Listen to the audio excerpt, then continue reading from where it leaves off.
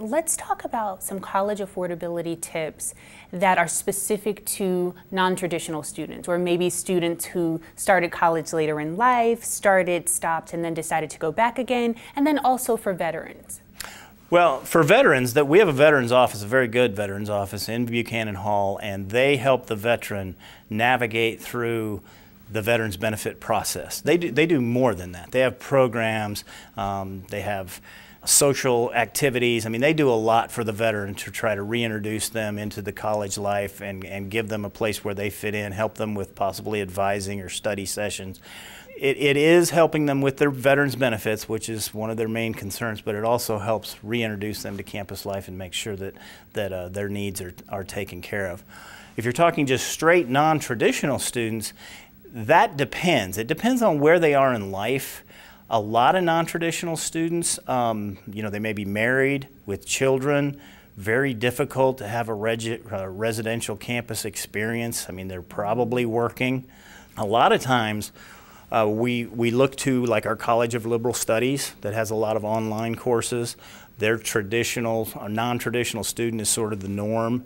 So that may be the best fit for uh, for especially working families that where they're trying to go back to school after a certain amount of time. Still eligible for financial aid, still mm-hmm. have you know the classroom experience if they want it, but also have a lot of online offerings if they want to go that direction too. Financial aid is available for non-traditional students, um, just as it is for traditional students. Actually, once a student uh, turns 24, they no longer have to put their parental income on the FAFSA. A lot of times students can get more financial aid eligibility by being past that traditional student age. So I would encourage them to fill out the FAFSA, uh, see what their eligibility is. You know, maybe they started when they were 18 with their parents' income, they didn't qualify. Now they, you know, left school and are, are wanting to come back at age 24 fill out the FAFSA again and find out what your eligibility is because all those same programs are available for non-traditional students. And including going on FastWeb and becoming familiar with the types of scholarships that are available maybe for students in their particular category. Absolutely, and actually that non-traditional status is a category within FastWeb.